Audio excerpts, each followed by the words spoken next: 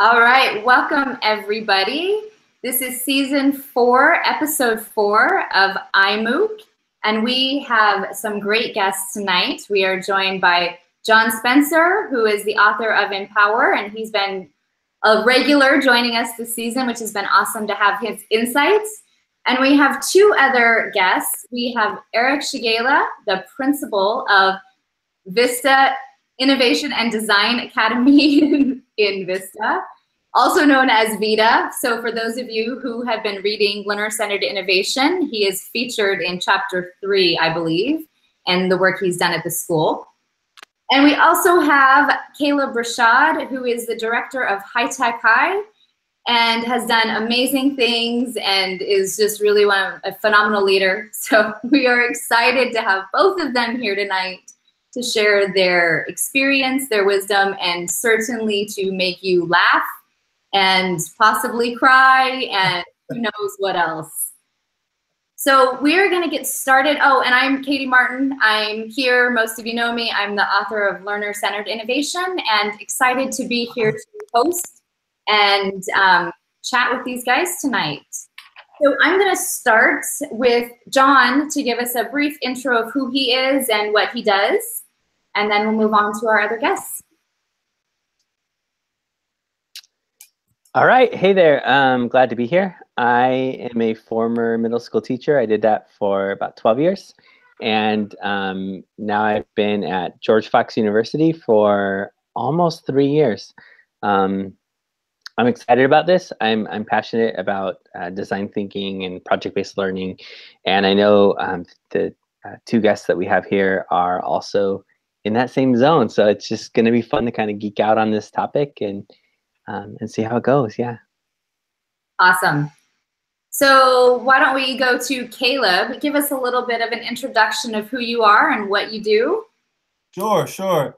Um, I too, like John, was a middle school teacher, math and science teacher. Also taught uh, English language development in the hood in Riverside County, um, here in Southern California. Um, and now I am the director of the Gary and Jerri-Ann Jacobs High Tech High. It's um, it's kind of this place where we love to dream, we love to disrupt systems of inequity. Um, we love to uh, do badass work, and I'm a cog in this beautiful machine, and uh, I love serving our people in our community in doing so. And you do it well. Awesome. We're super happy to have you, Kaleb. And Eric, why don't you introduce yourself and tell us a little bit about where, what you do and tell us about your school. My name is Eric Chagala. I'm the principal at the Vista Innovation Design Academy, or VIDA for short, for those who don't. VITA! Vida means life in Spanish, which is super important to us. We're striving every day to have school be more about the life of the young people who come through and that we serve every day as opposed to just a place that they show up for seven and a half hours. Uh, when I grow up, I'd like to be Kaleb Rashad. Um, he is the most interesting human in the world, I believe. And I actually get to co-teach a class with him um, at the High Tech High Graduate School. We teach a class called uh, Leading Innovative Schools, where primarily we talk about design and we talk about culture, baby.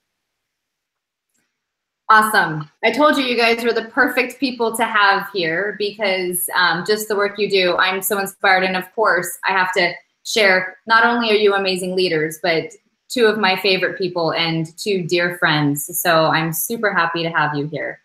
Um, I want to start with you, Eric, a little bit about, um, you talked about Vida is a school that you actually created this school. And as I'll mention, it was a traditional, it's in a traditional public education district. It was a very traditional underperforming school that I visited when I was had student teachers at the school. And over the course of a year, you have transformed it and really made it a place where kids and teachers and parents all want to be. So talk a little bit about that process and like how you use design thinking to really create um, a new culture at your school. I think one of the great things about design thinking and what led the hearts of the faculty there, because we did this all alongside each other, is um, when you work at really impoverished schools with high needs, you're automatically highly empathetic. And if you're not highly empathetic, then you have no place there and you're not going to be able to survive. And so, coming from uh, a, a foundation like that, the faculty, I think, enjoy the idea of design thinking because A, it was different. B, you can see every content area in that. You find your place in that. But also the focus on empathy was was automatic for them. It made sense. And so that was something that um, the use of design in design thinking specifically in the structure of the school, but also then as a pedagogy and how we approach opportunity and um, create more personalized learning experience for all kids through that just really made sense. It was wonderful. And it's all about culture, hope, joy, grace, love. Mm, mm. Good stuff. And you know, and you say love, and I and uh, Kaleb, I want you to talk a little bit about this too. One of the things you say often is like, you just gotta love the hell out of people, and um, I think that's really important. And often people will ask me, well, like, how do I get people to change their practice? How do I get people to do things differently? So I'm gonna toss that one to you, Kaleb, and like talk a little bit about in the public school where you used to work and high tech high. How do you help people? really think differently about their practice and and do things differently? Yeah, a great question. So, um, gosh, so I think in my in my first school um, where I was an administrator, I learned a lot from my mentor. Her name was Sonia Risley, and I watched how she was able to transform manure into magic. She he could take like these like seemingly disgusting sort of elements and like work them into the soil of like the school and like grow something fruitful out of that somehow. And I was like, oh my God, how do you do that? And so watching her for several years and then having a chance to go to a school that was had a top-down superintendent, the instruction in the school was top down the principal that was there before me, she was a top down years. And so um, it kind of bred this sort of culture. I mean, and I'm going to like name culture as about the among the people. They were, in their words, um, toxic, unhealthy, um, in a lot of ways. A lot of backbiting and suspicion and competition that was not healthy. And so part of this thing about like um, loving loving people is more about like deep compassion for people and connecting people to themselves. Like, why do we do this work? Why do we subject ourselves to this work? Um, and then what's our collective story? And then what are the what is the work that we really want to do that speaks to both our intellectual and emotional selves? And my my dissertation is all about relational trust and how principals um, say and do things um, that elicit trust from the faculty to the principal and among the faculty members. And so um, uh, I just recently shared a, a quick um, excerpt that I just read out of Strength to Love by Martin Luther King um, as a way to just kind of like understand how to take do change at scale. And one of the things he talks about in there is this idea of love being more than just friendship love, and love being more than um, romantic, romanticized love, but rather this sense of agapic love, like this sense that um, I have your goodwill at heart, and I'm going to work in that vein with you, um, collectively and individually.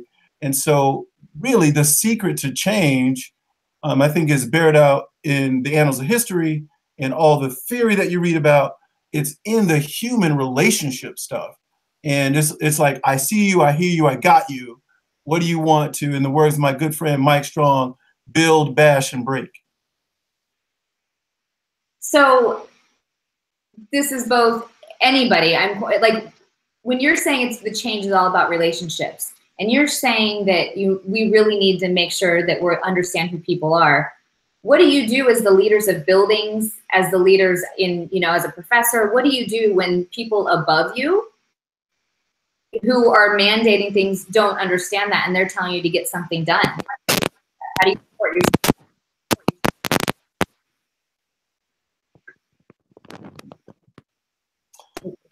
Well, I'll, I'll go and jump in. Um, so I think the first thing that I did when I arrived here at High Tech High, I've only been here for two years, but it was something I learned from Sonia several years ago. And it is this idea of creating psychological safety for people. And that is generally done through like dialogical sort of protocols, creating ways for people to be able to speak in their truth um, without fear of criticism and judgment and castigation and all those. And even before that, it takes, in my mind, at least um, in the places that I've been, it takes a leader person who has the role authority um, to be vulnerable, him or herself. You show yourself. You, have to like stand up for what you believe and what what you really feel, and you have to be able to articulate that. And then you have to like up for other people to create a space for people to critique.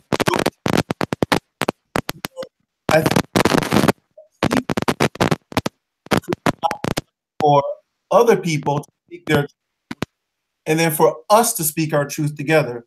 So I think in, in this way you sort of build momentum to really like do work that is meaningful.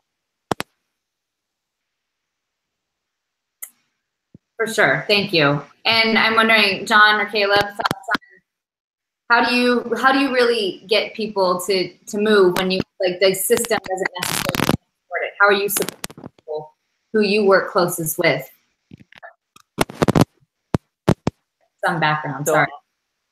So I'll, I'll kind of jump in here. I think um, I, love hearing this perspective right now because I I was never uh, in a leadership position. Like I was always in a teacher leadership position. I was the one who created programs, um, developed systems. Um, we were a low income Title One school district, all that kind of stuff.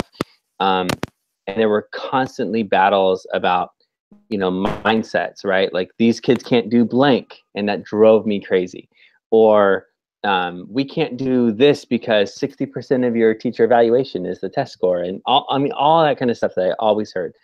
And um, so from a teacher's perspective, like a teacher leader perspective, it really came down to the fact that there were times when a leader was willing to risk something, right? Like a leader was willing to be courageous and in those moments when that happened, and I felt even more freedom to innovate, then it was like a breath of fresh air.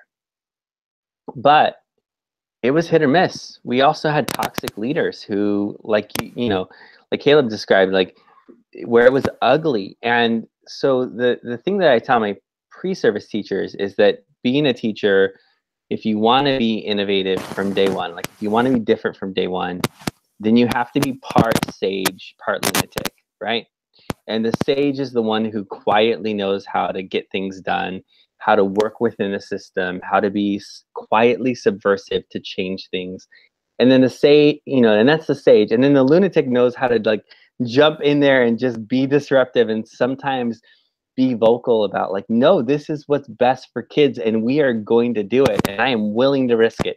And I think that the, the art from a teacher leadership perspective, and again, I, I readily admit I was never in, in a in a principal type position, but from a teacher leadership perspective, the art of that is knowing when to be the sage and when to be the lunatic. And I think when when you figure that out, then you have this beautiful thing where change starts to happen from a grassroots level.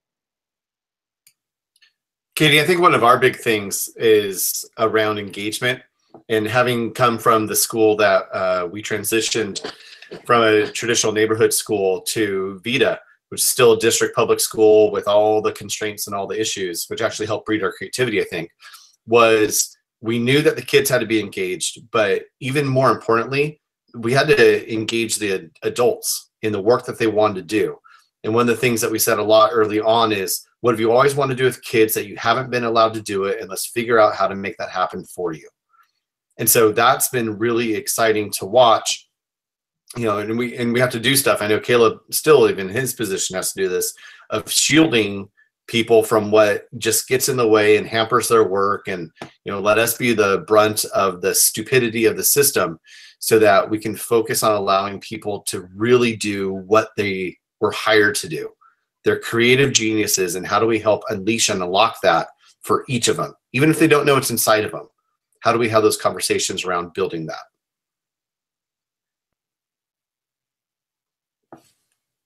Sorry, I muted myself, so I didn't hear the crackle. There. Um, I love all of those perspectives, and it's really about you know, as a leader, you can really embrace people and be vulnerable and show that, and I think that's super important. And John, I think that you're as a leader, you know, formal leadership authority. Teachers are leaders in so many ways and lead in the classroom and need to be able to also have that that cover to be able to be innovative, but also when you don't have it, step up and do. It. And I think that Kaleb and Eric, you have really shown how to create that space. You can have leadership from the classroom and support that culture collectively. Um, and I think that those things are really important. Uh, I'm also just wondering something that is part of one of us has a microphone that's plugged in. Sorry, guys. I'm not sure it is, but it's it's crackly. So everyone check your sound. Momentary break. Um, but I want to talk about, I think something essential to all this is strengths. How do you build on, like, really not just say, everyone's good at something, let's build on that. Like, how do you really create a culture that actually leverages and builds on the strengths of the people in your building? I think it kind of goes back to what I was talking about with the engagement aspect, because the strengths, interests, and values of the individuals is how you really get to that engagement aspect, that hope for them. And so first you have to provide the space for people to be aware of what, what are our strengths and that they do have strengths. I think there's many times there's such a humility of teachers that they don't necessarily think that they're excellent at anything or that they're able to create something beautiful. I just come and I do my job or I teach this math or or that. And so giving them the space and the capacity to understand that they are brilliant at something, that they are beautiful human beings, that they are creative, that they are dynamic, and allowing them an outlet for that. Love that. And how do you feel like has design thinking helped you guys to do that? Like how how have you really moved? Because I what I feel like is fascinating to me, Eric, is you actually started a school. Oh, you I mean you kept the same school and you created a new name and a new vision and guide and, and principles, but everybody stayed. I think that's another piece that I want to highlight. You didn't get a whole new staff. You kept the same building and you kept the same staff, and they had the chance to leave, but they stayed. So, I mean, I think the same kids matriculated through. Right. So, I mean, I know people are interested in this because I hear this all the time. We talked last week about innovating inside the box, and people are thinking you have to get a whole new building and you have to redesign everything. And you didn't do that. You are like, you are a leader who has stayed and kept the same kids, the same building. So, I mean, let's, let's talk talk a little bit more about that. Give us some insight. How, how does that happen? everything. I think a lot of it's um, what Kaleb hit on the head about loving the heck out of people.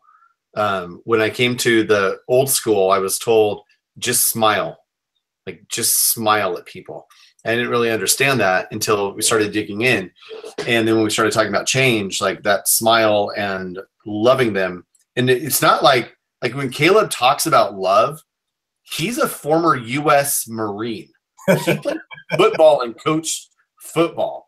And we always have this thing like when we present together, like he's a Marine and football player, and I drink Coors Light out of a can and I dig bologna sandwiches. Like we're not super touchy feely people, but if sometimes if you hear us, you think like we're oh, these overly emotional, um, whatever type of men. And that's why I love when he framed around like the agape love that it's not just soft and nice like it is this brotherly servantly like we love you to no end and there's a reason for that and we're family and we're going to get through it And when people talk about like culture, because culture is a big part of the obviously all this. Um, I this this saying that culture is not a nacho party. Like people think like, hey, we had a we go to happy hour once a month. That's fantastic for you. Tell me what you're doing for people. How are you attending to the needs and the love and care of people? Do you know the names of the children that they have at home, their real life situation? Are you able to talk to them in the hallway? What is your actual presence as a human being? And so design thinking fits into all that because it is all about being human centered, human centered design and um, caring for the needs of others, identifying what the needs of other people are and your users and your extreme users. So who is not bought in? Who's overly bought in? What are the needs that they address? And there's so many tips and tricks for culture from design thinking, from yes and and improv type stuff to um, just providing great skills and norms and protocols for uh, brainstorming and ideation that you're able to really bring everybody onto the boat and help them find their voice in it in that discovery. And what I found is when we go away from our process and we forget it, we sink. Yeah. And when we go back to what we believe in, then we rise up.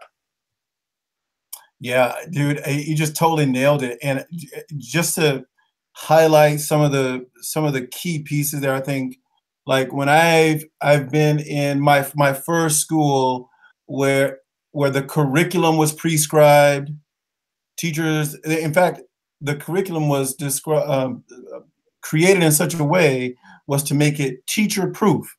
Like no matter what, even if you get a sub in there, the sub is going to be able to walk in, understand what the lesson plan is, and like mechanically administer the learning, right?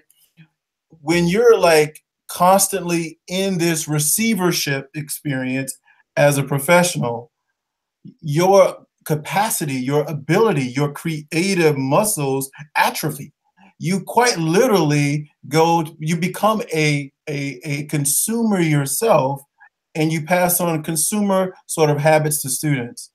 And what lacks is the ability to dream. And when um, I, I had my my my first school and in my school now, what I see is the major difference is that the people here in this place they've been bred to dream a lot. And m- more than that is that design process um, centers on like three important mindfulnesses, right? In terms of process. One is the disposition toward empathy, like understanding the, the, the, the human experience and surfacing that unarticulated need in some way, as to be able to then, process number two, dream about what might be possible in order to meet that need in maybe a low um, stakes kind of way so you can learn quickly and then test it. Like that I, that that cycle of empathy to insights to um, dreaming about possibilities and then doing something is in itself a cycle of innovation. Uh, i think i was probably most like most of, of your listeners um, just blown away by Ken Robinson's talk some years ago about um, does schools do schools uh, kill creativity? And the way that he describes it as a process never dawned on me. And to be able to run across a process by which we can go from ideas to action, um, I don't know. I think it serves as you know a one means of engaging in um, innovative work. So I want to jump in a little bit with this too. Thank you. That that's that's super interesting to hear that perspective. Um, and I think there's this cross section between um, when we think about experiences in the classroom. And so um, I know John writes a lot about this and has just provided a ton of examples and resources for what teachers can do in the classroom. And I know Kaleb, you and Eric both support that. So I'm thinking like how, so we talked a lot about educators and the culture, what does this look like in the classroom? How do we create these experiences in the classroom to really unleash talent and to really empower the, the kids, the students, the learners?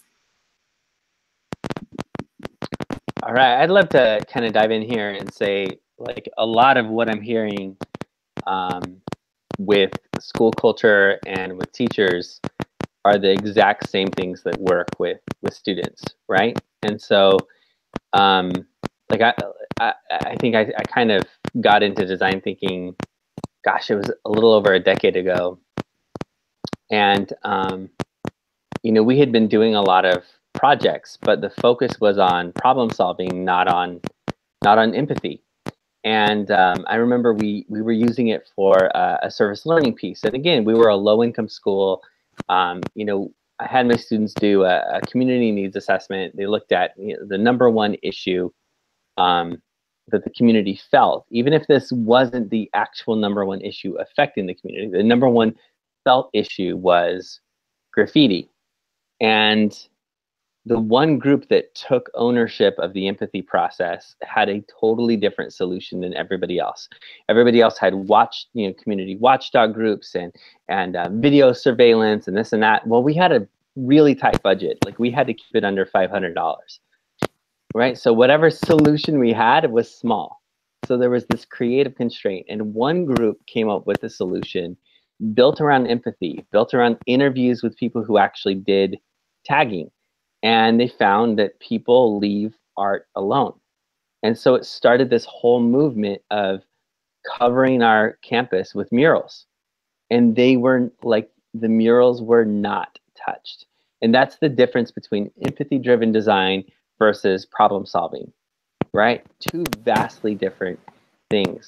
And um, so I think that's part of it. And then the other piece is really someone early on gave me this my, my friend javier gave me this ad- advice and i love it he said um, that there's a good chance when you run into a barrier that that the answer is not to figure out a way around the barrier the answer is that the barrier is actually part of your design feature and that was really hard for me but i remember we, we would geek out on and this is going to sound stupid but um, we would geek out on baseball stadiums right and so just bear with me for a second. This is totally like baseball geekery here. You could be like, John, you're so full of crap, but just bear with me.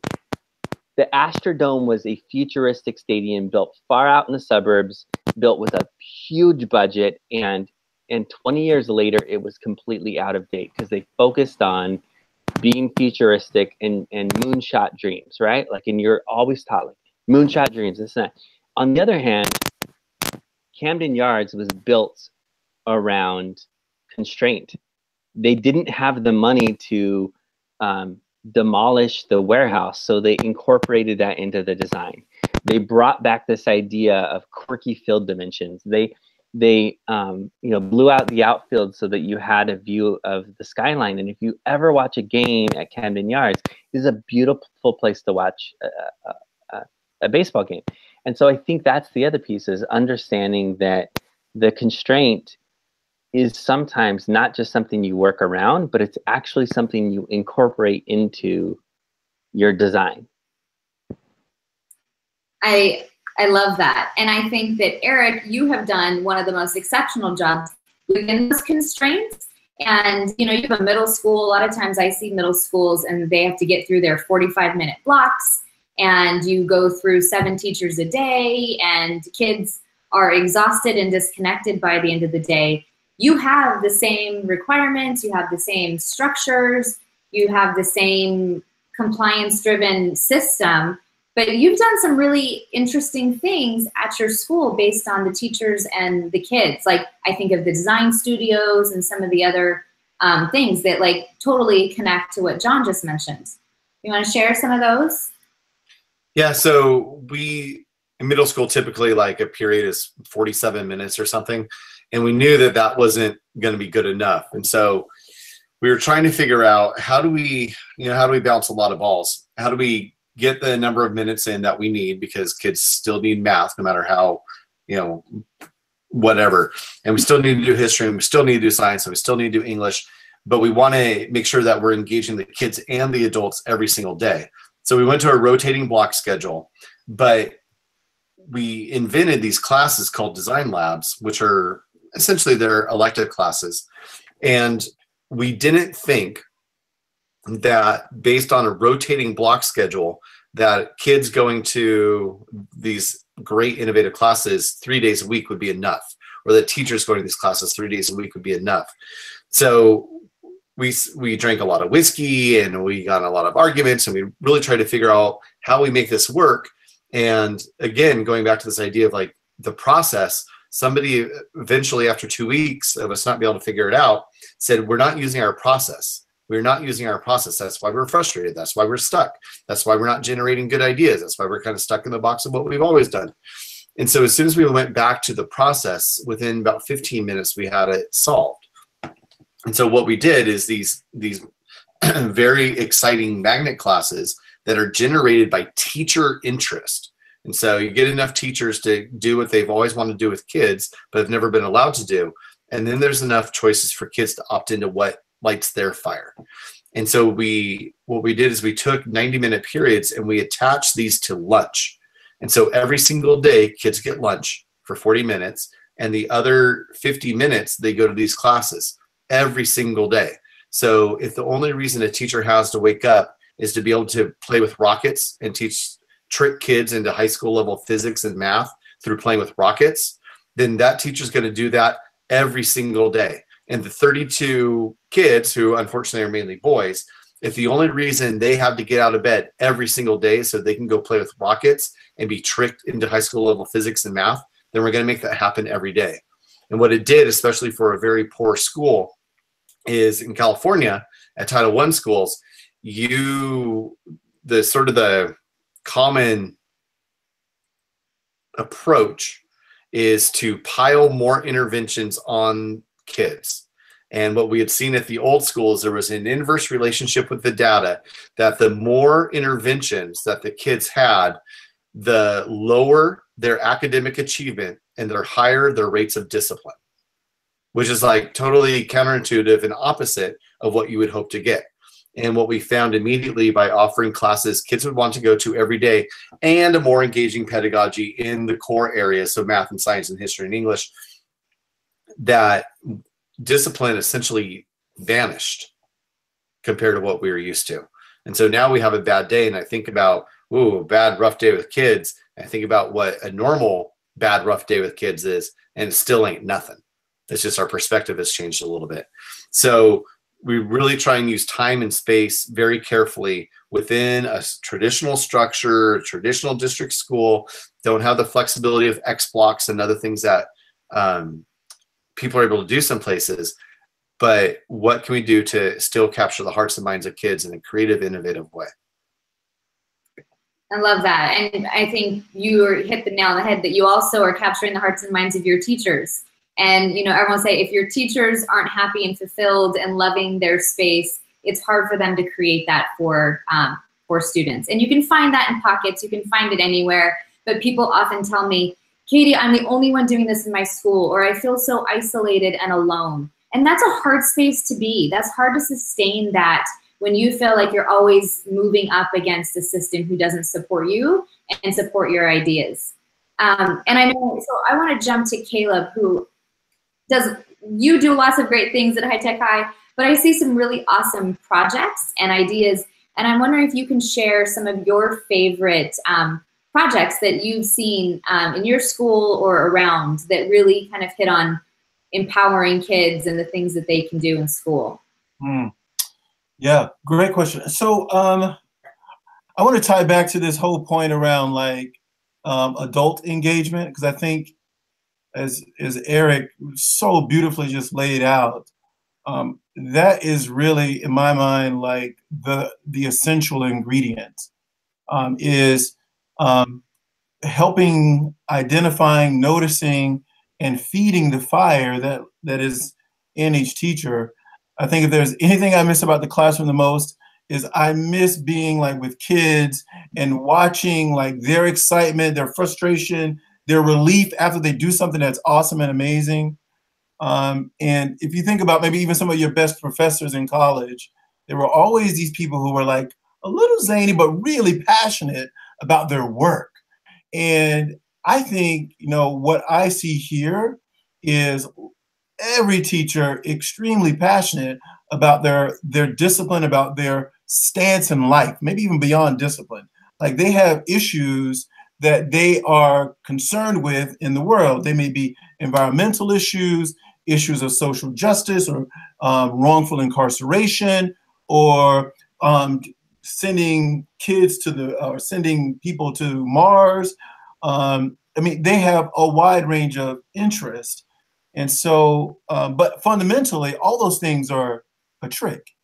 It really is all about just what's the way to get the bee to the honey, right? And for us, it's like um, projects, they come in all shapes and forms. Here's one that pops to mind right now. Margaret, and it's not a big flashy one. I, I share a lot of stuff about what kids are doing. I just, it just makes me happy to do so. Um, but sometimes it's things that are, aren't flashy. Um, Margaret Egler is um, our 12th grade humanities teacher.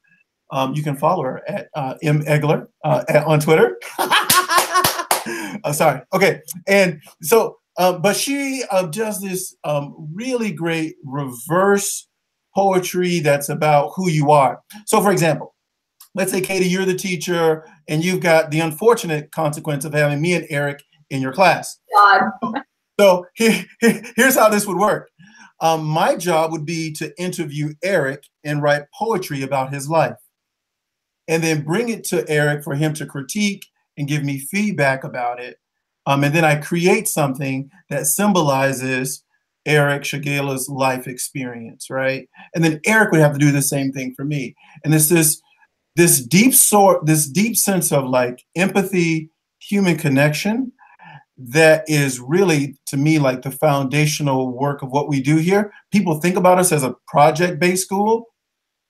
Project is the trick. What we're about is equity. We're about like how do you intentionally interrogate your life experience?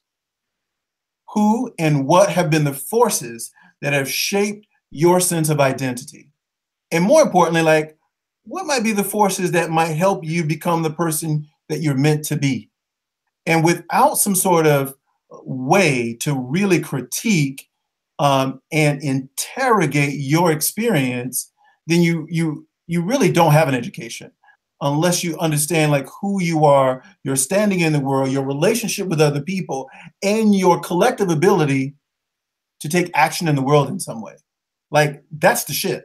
And so that's what we pursue. And so whether it's Margaret Egler's project where one student interviews another and they understand and they go to each other's houses and they like they get a full scope of a, of a student or you've got projects like um, brian delgado and angela larario's rocketry project right where kids are building rockets and they've got to get permits from nasa in order to send them up to 13000 feet above the surface of the earth but it's not about the project really what it is about is the reflection on the experience. Old school Dewey stuff. Like it's not just the doing of the thing, but it's your ability to reflect on. Um, I tried to launch a rocket. It failed miserably, especially if I did it. It failed miserably. So what can I go back to the to, to the to the literature or to the theoretical constructs of physics, lift, drag, all those kind of things, and like understand how to do it better. That's content. The second kind of reflection is about like, how did we work together as a group? Who was quiet? And what was a way that I could have acted to pull that person to the conversation? They have genius in them. How do I work in a way to bring the genius out of the group? And then the last part of that reflection is your own like your own like progress. Like what what were the stumbling blocks for me? Where did I fail? And where were the places where I was like, totally like in my in my flow state, jamming, doing my thing. Like that reflection over and over and over and over again, I think puts us in this position as uh, position. Like I think it's Alvin Toffler who said, like the the literate of the 21st century would be those people who can learn, unlearn, and relearn, or um, and it's in particular about like how to um, recreate yourself over time, and you do that through um, through reflection and action and reflection and action over and over and over and over again. Love it. Yeah, I mean, really, that we say the lifelong worker is a lifelong learner, right? That person who's has always got to be learning and figuring out their space. So I'm curious, and this I'm going to throw it out to kind of all three of you guys. we hear time and time again that collaboration, working together is what jobs want, it's what companies want, it's what we want to see in our kids in our classrooms, it's what we want and know is going to support our teachers to do great things. Um, yet it's a constant struggle. How do we how do we intentionally create these meaningful collisions? How do we get people to collaborate and not just say, "Hey, go in a room and work together," but like, how do you create the conditions so people can really meaningful meaningfully collaborate and work together and get the skills to to do that in different groups? So they have to see the value. All right, I assume we're talking adults right now. Yeah, I mean, and any adults. We also talk about kids. How do you build? I would also say adults who don't know how to collaborate can't facilitate the effective collaboration in their classroom. So yep. just like adults who won't take a risk can't embed that ideology of it okay being able to take risks with their kids, or adults who don't think that they are creative can't inspire the creative genius of the children for which they're working because the kids have bullshit screens the size of their iPads and they see right through it. So I, I, think one of the big things with adults with collaboration is that we are not in the, and this is the same with kids, we're not in the world or the land of cooperation, that we are in the land of collaboration. And they have to see the value in working with one another. And it goes back to design thinking and the power of um, creative movements that come when you throw people with disparate mindsets and ideas and backgrounds together. So the political scientist and the ballerina and the photographer and the mechanical engineer, people who have all those specialties and putting them on a group and a team together and seeing what comes out. I'm not interested in three people who love drama and seeing what they produce because I can guess what that's going to be like. And so they have to see the value in working with one another in a highly collaborative state. And they have to understand what the hopeful expected outcomes are not what the outcome is in terms of it's already preset, but this is what we're hoping you will achieve. And these are the constraints that you can do it under. And so therefore the constraints help build creativity. Yes. awesome. I'm so I'm gonna pause for a minute because I sorry, was I wrong? Was that wrong? No, that was wrong. It was not wrong. It was perfect. You have I just got fired by Katie Martin zone. I was in the zone and I was just so like mesmerized. And I was, yes. And I also at the same time want to make sure I pause before I go on to anyone else to follow up on that meaningful thought, Eric. That we have only 15 minutes. I want to get some audience questions. While I see if um, Kaleb or John have any follow up. Oh, yeah, sure I do. Absolutely. I love everything Eric just said. And um, oh my God, that makes my heart glow. Um, I would also say, like, there is something about believing in magic. Magic, baby. Magic makes the world go round. Okay. What I mean is like the the thing that happens that you could not do solely by yourself. Magic happens when you get one and one in a room and they create what seems to be a three or four level idea, right? It's this it's this sense of like synergy that happens. It's beautiful. However, in order to get there, it takes a certain amount of humility. If you know it all, then there's nothing that anybody can tell you. It doesn't matter what kind of collaboration you try to bring together. I think there's something to be said about a leader's role in being humble. I think there's a um, something to be said about leading with uh, questions that are provocative and interesting to pursue versus giving answers. Um, when when people um, approach the work with the disposition of curiosity, a sense of imaginative play, and a sense of reflection, like that helps to create, in my mind, at least um, the undergirding sort of dispositions. But bigger picture, like things you can actually see, is when two people or two disciplines work together in a way to complement each other and meet the the goal, the objective, the the thing that you're trying to work on. That collaboration, just as we would think about um, um, organizing any sequence of other learning like mathematics or engineering or physics, um, there are protocols and methods to um, for adults that to support collaborative dialogical conversations. You know as well as I do, you can't just put adults in a room and just say, work on something beautiful and make something great out of it. They need a way, even a challenge. And there, there are a ton of amazing protocols from the National School Reform faculty and others to help support adult um, how adults learn and understand together, how they make decisions together. So I have a thought I, I would love to share. Um, I love just kind of what I heard there, you know, uh, especially the the the magic, the the idea that you're going to take it to the next level as a group, uh, as a team. And I think there's a couple of thoughts I have. Um, the first one to kind of mirror um, what Eric said about you know collaboration versus cooperation.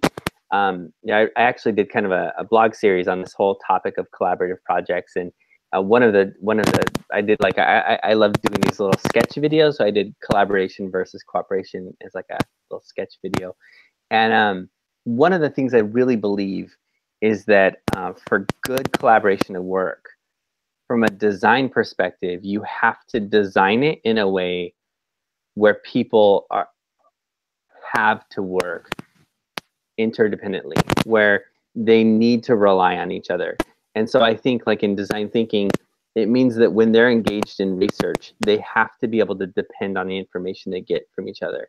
When they're doing ideation, they can't just brainstorm together as a group. They have to work separately and then come together and give, and you have to have structures in place where every person gets a chance to have their voice validated. Um, those pieces have to be there. Um, otherwise, it becomes four people doing the equivalent of just a one person project. And I think that happens with students all the time. That happens with um, teachers. And the, the other piece is they have to be, you know, there truly has to be authentic voice and choice. So I've worked, for example, in a school where the PLC was the forced collaboration but we didn't function as a real PLC because everything was so top down that there was no chance to have any autonomy and agency at the bottom level. So that I think is the other part. And then the last thing I just want to say is a little bit of a pushback on the collaboration pieces. Yes, collaboration is critical, but in the best collaborative environments I've ever worked in, there is space for individual autonomy and just the, the ability to engage in deep work by yourself that contributes to the team. And I think that's where mixed ability grouping, that's where mixed interest grouping, mixed talent grouping becomes so vital. But as much as collaboration is a huge part of what students will need in the future, in a distracted world, they also need to know how to engage in self directed, autonomous, deep work. And that piece yeah. I, I think is the other part that will bring collaboration to the next level. I love that john too because it goes back to what we were talking about with strengths and individuals. If you're always just interdependent as a group you don't always have to think about what you bring and what you can go and do um, individually with that and i think that's that's important at the end of the day there needs to be some accountability and there's always the struggle of like it's the group work let's do a group project and grade everyone together you know, in in real world, you are held accountable often by your own goals, and you need the group to support you in that. But you have to be able to do on your own. So I really push back and that perspective. Uh, you know, Katie, I would I would also say that that that sense of contribution, just jumping in a quick sec, yeah. is is is not antithetical to um, collaboration. Collaboration is sometimes we think of it as a fixed thing, but there are like sub constructs related to um, to collaboration, like cooperation, like conflict resolution, like making contributions or expanding on the contributions of others. There are like sub constructive sort of behaviors that make up this larger idea of collaboration. and I'll I'll share. I think I'm stealing this from Eric, and it's unfair because you're right here. But I know you often you can jump in. But um, Eric will always say, "You got to teach people how to do these things. You can't just expect those subcontracts. You have to teach people." And and I love that you've organized your school and your design, um, whatever the design um, classes around. How do you teach people how to present, how to work together, how to do these things? and not just give them a rubric and expect them to figure it out. So I, I really appreciate that. Um, and I'm going to just speak for you there, Eric, so I can move on to that. We have two awesome questions that I want to make sure to get to, and I want to hear your voice on this too. So Christy Croft um, at Kate Croft 23 has a question um, that I'd love to hear your thoughts on. What is the best way to approach someone when you want to buddy up and tackle design thinking together? So you're in a school by yourself. How do you go for it? So I, I would say maybe focus less on the process and focus on the challenge. Uh, sometimes we can get enamored with like, oh, let's use design thinking. Mm, that's not bad. Um, a, um, a wise course of action might be, what is a thing that is on our heart that we want to tackle together? And then as we try to tackle that thing, who is impacted? That's empathy. Might be some needs that are related to this thing that we're like working on. So what we're trying to do is instead of like learning by like talking about doing design, um, it might be like, think about using design um, versus just talking. Yeah, I, Kaleb, I think that's really brilliant and uh, that sort of that cornerstone where people can find each other and really dig in around real work is around that challenge. And what we find is like you really bond over that empathy, that journey that you're going on. And you know, it's kind of like a lightning rod when you go back to remember when we generated all those really great ideas. We go back all the time, like, oh, remember that? And that's that's how we kind of get stuck on the oh, we're not using our process. Like, remember how good that felt when we did. And a lot of bonding, I think, that happens over that and through that.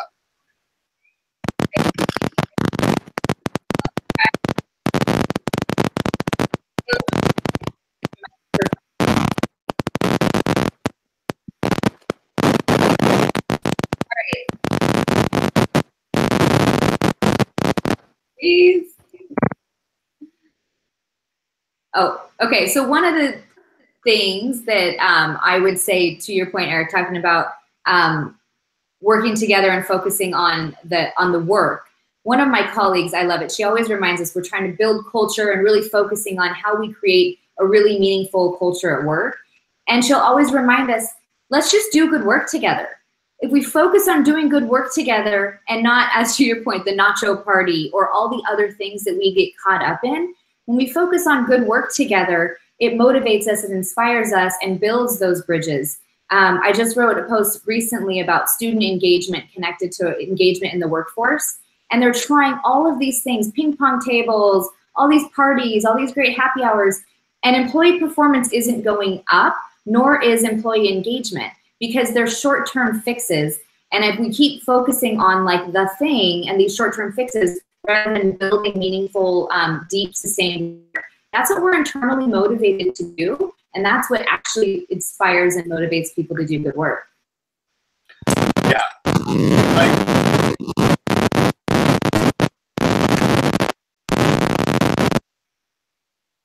they don't want. John has something so awesome to say, and he keeps. No, it's okay. I just want to point out, like, yes, like, yes, you have to work with people that you want to work with. I, I got him. He, I lost him because it was. Can you hear me? I feel like my internet connection sucks right now. Can you hear me at all right now? Now I can hear you. Go. All right. I, I, I do think that like the best collaboration that I ever worked on, the, the, the times where design thinking worked, were times where we had relationships all right, I gotta I gotta cut him. you can you can write a blog about it. oh, sorry, dude. Hey, um, one of one of the things we that I talk to people about sometimes, Katie, is this idea of um, everyone's on a continuum and really like the whether it's a teacher leader or a school leader or whatever like our job is to be a concierge and to help determine what the needs of each unique user are and really help serve to those needs to get them to where they want to go. And if and if you really want to like if you're intentionally trying to like really learn more about design um, and you have maybe you, you're thinking of a, a topic um, or a, an area of need that you want to try to address maybe find just one partner who's interested in that same thing and then use the design process to kind of start the work i think there are two places where people really get connected to design one is in doing like real interviews with people where you like are seeking stories seeking stories of emotional significance to be exact when you're looking for like pain points in a person's life or experience or things that brought them delight and joy. Those things, that's one particular attachment point. I think the second is when you begin to like use those emotional pain points or or points of joy, and you begin um, prototyping something to meet that need, and then you put that in the in their hands, and you get to like see their reaction to that is another place where people really find I don't know some joy. Um, well, I mean, sometimes you go, we are way off base. By the way, you're like your prototype is off, and and but but normally people are pretty flexible about that, and they're just like, hey, you know, you know, it didn't quite work out the way I hoped, but you still learn something about it, and maybe in a different a different way. And but those are like two places where I don't know where you really see like the human value is when you create something that meets an authentic need that sort of service to others is humbling and really powerful. Yeah, and I'll just finish that up with um, John's comment too. And he was just saying, although he can't share, what he said is just saying it starts. Thank John. You, you never sounded better. Yeah, starts with the relationship of trust, and it really starts with choosing to be vulnerable. And I think so. Back to the question, Christy, if we're really looking at be vulnerable, say that you, you know, think of a problem you want to solve talk to somebody about what you want to accomplish and then how you can use different processes to support that. I'm going to wrap us up with a question from Dan Ryder. The, oh, the Dan Ryder, what up? And he has a question, of course, a super thoughtful and insightful question for everybody. And John, no matter how bad your audio is, we're going to let you share. Um, but I'm going to let you keep it to like 30 seconds because it's it's good and it's gonna just that's gonna be the final thought. So in a world where there's so much happening and these, you know, everyone is innovative and pushing boundaries, Dan is asking, how do you four rekindle your spirits when your innovators' souls are wounded or hurting? Everyone's thinking, Dan. It's thoughtful. Who wants to jump in? Go, I, go Kaleb. Go ahead, Eric. No, no, no. All right. Age before beauty, dude. So 30 seconds. When we are wounded, I think the best source of rejuvenation is in service to other people. Um, so anytime that you know you feel that that sense of fatigue, I'm, I'm reminded that the work that we're trying to do is about liberation, about unleashing people, their creative souls, their creative mojo, and um, that freedom, even though we might feel tired, we should maybe think about yes, we're tired, name it, but not fatigued. This is civil rights level work we're trying to do. And there are lots of people, including minority students, low income kids all across this country, who are locked in these paradigms of compliance and locked into these patterns that uh, just perpetuate inequity. Um, and we got we got work to do, man. Thanks, Dad. I'd say a more self on the more selfish note, which is typical for me versus Kaleb, is trying to reconnect with the like-minded souls that help give me hope that this work is doable. And so that may be, ironically, with Dan Ryder eating pizza on a corner at 2 a.m. in Austin. And that may be getting wings with Kaleb Rashad on a Sunday afternoon or going on a walk on the beach with Doug Creedeman. But it is finding those like minded souls who are doing the work that know how hard it is, how lonely it can be, and they re energize and help keep that your eye on the ball of this is why we do this. This is why we're pushing. This is why we're working. The kids deserve it. Every single darn one of them. Rich, poor, in between, they all deserve better than what the traditional system is giving them. Okay, I'm going to try to answer, and I have no idea if it's going to work. So, here's what I think. Um, know the difference between being tired and being wounded. Because being tired requires rest, but if you're wounded, you need to be restored. And that requires community, that requires something bigger than yourself. Um, you know, for me, there's a faith component, but there's there is uh, know what restores you because if you've been wounded, you need to be restored to to to have your cup filled so that you can give it away to other people. Awesome, thank you guys. And I will just finish off by um, what really restores me is the community, just like you guys said, like the people who support me and push me, who help me think differently. And um, so many of them are here on this screen. And I thank you for being here, my friends, my dear colleagues, and the IMMOOC community. I'm super thankful for what you guys um, put out into the world, how you support one another, and how you support me and um, energize me constantly. So that is going to be a wrap for tonight. Thank you, Kaleb and Eric and John, for taking your time and sharing your insights. Please connect with them all on Twitter. Um, tons of resources on John's blog, and um, I'm sure both Eric and Kaleb are happy to answer questions and share more resources with you if you connect with them. So that is it for tonight keep blogging, sharing, and connecting, and keep learning and making an impact in your own community. And we will see you soon. Good night.